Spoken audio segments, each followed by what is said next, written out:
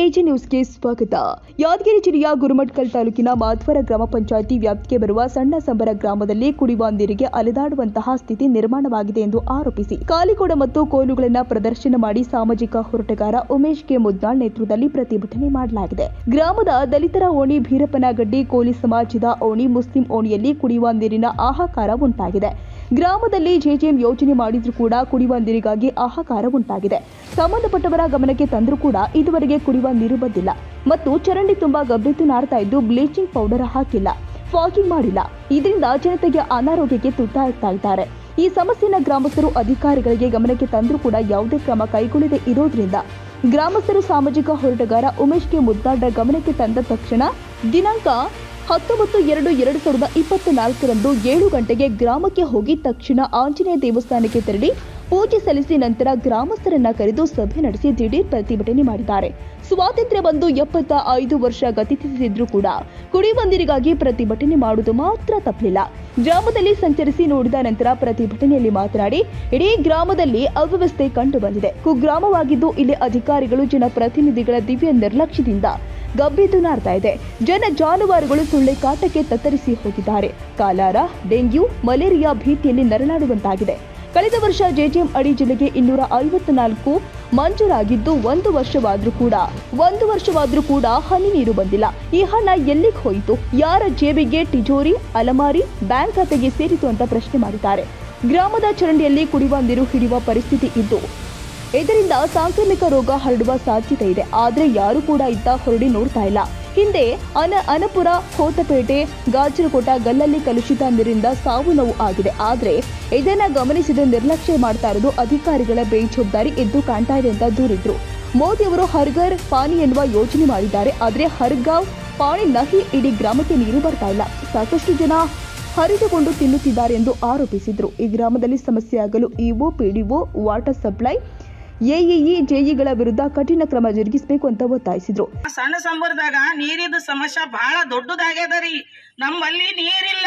ನಮ್ಮ ಕಾಲು ಕೈ ಚಂದ ಇಲ್ಲ. ನಡಿಲಕ ಬರೋದಿಲ್ಲ ಸರ್. ನೀರಿಲ್ಲ, ಏನ್ ಇಲ್ಲಿ ಬೇಡಿದ್ರ ಯಾರಿಗೆ ಕಿವ್ಯಾಗ ಹಾಕಲಾರ್ದಂಗ ಹಂಗೆ ಹಳ್ಳೆ ಇಟ್ಕೊಂಡಂಗ ಓದ್ತಾರ್ರಿ. ನಾನು ಎಷ್ಟೋ ಸಾರ್ತಿ ಬಂದು ಎಂಟು ತಿಂಗಳಾಯ್ತು ಒಂದು ಕಾಳು ನೀರಿಲ್ಲ ರೀ ನಮ್ಮ ಮನ್ಯಾಗ. ನಮ್ ಸಮಸ್ಯೆ ಜರ ಹಲ್ ಮಾಡ್ರಿ. ನಮ್ಗ ಇಲ್ಲಿ ಕಣಕಲ್ದಾಗ ಬಗಲಾಗ ಕಣಕಲ್ ಅದ ಎರಡು ಟಾಕಿ ಕಟ್ಟಿಸ್ಯಾರ ಆ? ನಮ್ ಕಣಕಲ್ದಾಗನೇ ಎರಡು ಟಾಕಿ ನಮ್ಮ ಮಾದರಿಗಾರಿಗೆ ಕಟ್ಟಿಸ್ಯಾರ ನಮ್ಮ ಮಾದರಿಗಾರಿಗೆ ಒಂದು ಟಾಕಿ ಇಲ್ಲ ಇಲ್ಲಿ ನೀರಿಂದು. ಆ? ನಮ್ ಮನೆಯಾಗ ಒಂದನ ಕಡಿಸ್ಬೇಕಲ್ಲ ಅಲ್ಲಿ ಎರಡು ಕಡಿಸ್ಯಾರ ಅಂದ್ರೆ ಇಲ್ಲಿ ಒಂದನ ಟಾಕಿ ಆಗ್ಬೇಕು. ಅದರಿಂದ ನಮ್ಮ ನೀರು ಬಿಡ್ಬೇಕು ಇವರು. ಏನು, ಹಿಂಗ ಹಿಂಗ ಏರ್ಲಿಕ್ಕಂದ್ರೆ ಒಂದು ಟಾಕಿ ಕಳ್ಸಿ ಜನರೇಟರ್ ಹಚ್ಚಿಸಿ ಮಾಡ್ಬೋದಲ್ಲ ಇವ್ರು ನಮ್ಮ ಬಡವ್ರಗ? ಮಾಡ್ಬೋದಾ ಇಲ್ಲ? ನಮ್ಗ ಸ್ವಲ್ಪ ಬಿ ನೀರ ಬರೋದಿಲ್ಲ, ಇಲ್ಲಿ ನೀರಿನ ಸಮಸ್ಯೆ ದೊಡ್ಡ ಅದ ಸರ್ ನೀವ್ ಏನನ್ನ ಮಾಡ್ಕೇಸಿ ನಮ್ಮ ನೀರು ಸಮಸ್ಯೆ ಅದ ಹಲ್ ಮಾಡ್ರಿ ಸರ್ ನಮ್ ನೆಡ್ಲಿಕ್ಕ ಬರೋದಿಲ್ಲ. ನಮ್ಗ ನಮ್ ದಮ್ಮ ಇದ್ದವ್ರಿಗೆ ನಮ್ ಕಾಲುಗಳು, ಈಗಿನ ಕಾಲಕ್ಕೆ ಬರೇ ಕಾಲ, ಟೊಂಕ ಎಲ್ಲ ಈ ಬರೇ ಇದೇ ಬ್ಯಾನೆ ಎದ್ದದ್ರಿ. ನೀರ್ ಆಗವಲ್ಲದು ನಮ್ ಕೈಲಿ. ನಾನು ಅಧ್ಯಕ್ಷರಿಗೆ ಹಚ್ಚಿದ್ರಿ. ಹಚ್ಚಿದ ನಂತರ ಅವರು ಫೋನ್ ಎತ್ತಿರಲ್ರಿ ಅವಾದ ನಂತರ ಬಿಲ್ ಕಲೆಕ್ಟರ್ ಹಚ್ಚಿದೆ. ಅವನು ಎತ್ತಲಿಲ್ಲ. ಅವನು ಎತ್ತಲಿಲ್ಲ ಅಂದ್ರೆ ಪಿ ಡಿ ಹಚ್ಚಿದೆ. ಪಿ ಡಿ ಏನಂದ್ರೆ ನಾನು ಬಿಡ್ಲೇ ನೀರಂದ್ರು ನೀನು ಬಿಡೋದು ಬೇಡಮ್ಮ, ಅಧಿಕಾರಿಗಳು ನೀವಲ್ಲ. ನೀವು ಬಿಟ್ರೆ ಒಳ್ಳೇದು ಯಾರಿಗೆ ಕೇಳಬೇಕು ನಾವು? ಅವರು ಹೇಳಲ್ಲ, ಇವ್ರು ಹೇಳಲ್ಲ ಅಂದ್ರೆ ಯಾರು ಕೇಳಬೇಕು? ಮತ್ತೆ ಅಧಿಕಾರಿಗಳು ಕೇಳಬೇಕಲ್ಲ ಅಂತ ನಾವು ಅಂದಿದ್ವಿ ಅಂದ ನಂತರ ನಿಮ್ಗೆ ಫೋನ್ ಹಚ್ಚಿದ್ವಿ ಸರ್ ಹಚ್ಚಿದ ನಂತರ ಇರಲಿ ಅಂತೇಳಿ ಇದು ಈ ಸಮಸ್ಯೆ. ಇಷ್ಟು ಒಂದು ಒಂದು ವರ್ಷ ಆಯ್ತು ಸರ್ ಇದು ಆಡಕ್ಕೆ ನಮಗೆ. ಇವತ್ತಿನ ಇದು ಖರ್ಚು ಅಲ್ಲ ಸರ್ ಈಗ ತಿಂಗಳ ಮೇಲೆ ಆಯ್ತು ನೀರೇ ಇಲ್ಲ ಸರ್ ನೀರಿನ ಸಮಸ್ಯೆ ಅಂತ ದೊಡ್ಡ ಸಮಸ್ಯೆ ದೊಡ್ಡದಿದು. ಇದು ಯಾರು ಕೇಳಂಗಿಲ್ರಿ? ಎಲೆಕ್ಷನ್ ಬಂದಾಗ ಅಷ್ಟೇ ಮಾತ್ರ ಊರಿಗೆ ಬರ್ತಾರ. ಏನೋ ಒಂದು ಹೇಳ್ತಾರ ಓಟ್ ಹಾಕಿ ಅಂತಾರ ರೈಟ್ ಅವ್ರ ಪಾಡಿಗೆ ಅವ್ರು ಹೋಗಿಬಿಡ್ತಾರೆ. ಬೇರೆದಂತೂ ಈ ಚರಂಡಿ ಕೇಳಂಗಿಲ್ಲ ಒಳ್ಳೇದು ಕೇಳಂಗಿಲ್ಲ ಊರಾಗ ನೀರಿನ ಸಮಸ್ಯೆ ಹುಡುಗರು ಬಡವರು ಯಾರನ್ನ ಸಮಸ್ಯೆ ಕೇಳಂಗಿಲ್ಲ ಸರ್ ದೇಶದ ಪ್ರಧಾನಮಂತ್ರಿ ಆಗಿರ್ತಕ್ಕಂಥ ಮೋದಿ ಅವ್ರು ಏನು ಹೇಳ್ತಾರ? ಹರ್ ಗರ್ ಪಾಣಿ ಅಂದ್ರೆ ಪ್ರತಿಯೊಂದು ಮನೆಗೆ ನೀರಿನ ವ್ಯವಸ್ಥೆ ಆಗ್ತಕ್ಕಂಥದ್ದಾಗ ಯಾರು? ಮೋದಿ ಅವರು ನಮಗೆ ಹೇಳಿರ್ತಕ್ಕಂಥದ್ದು ಕೇಳಿದೀವಿ ಪತ್ರಿಕೆ ನೋಡಿದ್ವಿ ಟಿ ವಿ ನೋಡಿದ್ವಿ. ಆದ್ರೆ ಇವತ್ತು ಸಣ್ಣ ಸಾಮ್ರದಲ್ಲಿ ಜೆ ಜೆ ಎಂ ಕೆಲಸ ಮಾಡಿ ಒಂದು ವರ್ಷ ಆಯಿತು, ಇನ್ನು ಚಾಲು ಇಲ್ಲ. ಅರ್ ಗರ್ ಪಾಣಿ ಅಂದ್ರೆ ಅರ್ ಗೌ ಪಾಣಿ ನೈಲಿ ಅದು ಇಡೀ ಊರಿಗೆ ನೀರಿನ ವ್ಯವಸ್ಥೆ ಇರಲಾರ್ದ ಪರದಾಡ್ತಕ್ಕಂಥ ಎಲ್ಲ ಓಣಿ, ದಲಿತ ಓಣಿ ಆಗಿರ್ಬೋದು, ಮುಸ್ಲಿಂ ಓಣಿ ಆಗಿರ್ಬೋದು, ಮತ್ತು ವೀರಪ್ಪನ ಗಡ್ಡೆ ಆಗಿರ್ಬೋದು, ಮತ್ತು ಪೊಲೀಸ್ ಸಮಾಜದ ಓಣಿ ಆಗಿರ್ಬೋದು, ಮುಸ್ಲಿಂ ಓಣಿ ಆಗಿರ್ಬೋದು. ಎಲ್ಲ ಓಣಿಯಲ್ಲಿ ನೀರು ಇರೋದೇ ಇವತ್ತು ಪರದಾಡ್ತಕ್ಕಂಥ ಸ್ಥಿತಿ ನಿರ್ಮಾಣ ಆಗ್ಯದ. ಮೋದಿ ಅವರು ಹೇಳಿರ್ತಾರೆ, ಅವರು ಒಳ್ಳೆ ಕೆಲಸ, ಜನರಿಗೆ ಅನುಕೂಲ ಆಗದಂತ ಹಣ ಇವತ್ತು ಯಾದಗಿರಿಗೆ ಬಿಡುಗಡೆ ಮಾಡ್ಯಾರ. ಎರಡ್ನೂರ ಐವತ್ನಾಲ್ಕು ಕೋಟಿ ಆದ್ರೆ ಇಲ್ಲಿ ಸದ್ಬಳಕೆ ಆಗದೆ, ಯಾರ್ಯಾರು ಜೇಬಿಗೆ ಹೋಯ್ತು ರೊಕ್ಕ ಅವ್ರ ಮ್ಯಾಗೆಲ್ಲ ಪೊಲೀಸ್ ಕೇಸ್ ಆಗ್ಬೇಕು, ಅವ್ರ ತನಿಖೆ ಆಗ್ಬೇಕು, ಅವ್ರು ಬಂದು ಚಾಲು ಮಾಡತ್ತಾನ ಅವ್ರನ್ನ ಬಿಡೋದಿಲ್ಲ.